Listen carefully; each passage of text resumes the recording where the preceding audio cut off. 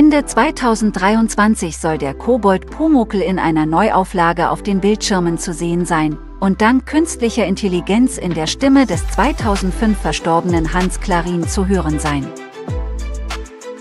Als Vorlage dient die Stimme des Kabarettisten Maximilian Schafroth, die mithilfe von KI in die unverwechselbare Pumuckl-Stimme von Hans Klarin umgewandelt wird. Die Seele des rothaarigen Pumuckl bleibe weitgehend unverändert, da besonderer Wert auf eine behutsame und liebevolle Modernisierung gelegt worden sei. Ähnlich wie die frühere Serie wird neue Geschichten vom Pumuckl eine Mischung aus Animation und Realfilm sein. Darin spielt der 39-jährige Florian Brückner Meister Eders Neffen.